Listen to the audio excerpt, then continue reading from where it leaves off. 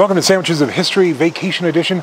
Our guest host today uh, was already a Chopped champion, and he just recently won Supermarket Stakeout on the Food Network as well.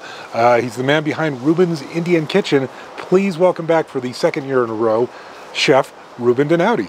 Hello, I'm Chef Reuben, as seen on Food Network's Chopped and Supermarket Stakeout. I'll be your guest host today on Sandwiches of History. And today I'll be making the chicken and egg sandwich from the up-to-date sandwich book of 1909. All right, to assemble this sandwich, you need one cup of chopped chicken, two egg yolks, cooked, hard-boiled, as one teaspoon of rich stock. I just got regular chicken stock that's been cooked down a little bit, and one teaspoon of melted butter. And basically, you just mix this until it's a paste. Once you get it to a paste like this, it says to put it between two slices of buttered white bread.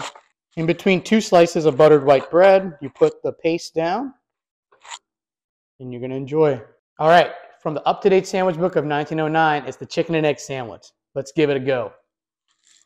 All right, I have to say, this is a really good sandwich. My girlfriend behind the camera actually said it resembles a really rich chicken salad sandwich, which I have to agree with. But I do think we can plus this up. All right, so for my friends over at Brooklyn Delhi, I'm to put in some roasted garlic achar. Basically, roasted garlic achar is like a fermented garlic uh, spread. They call it pickle, but it's not really like an American pickle. But I think this would go really well with the chicken and egg. I'm just gonna spread some of this right on here. All right, let's give this plussed up chicken and egg sandwich a go.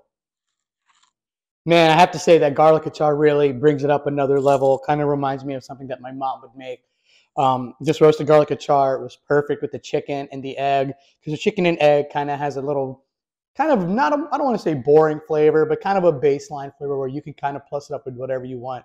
I would definitely recommend making this at home. Thank you for tuning in to Sandwiches of History.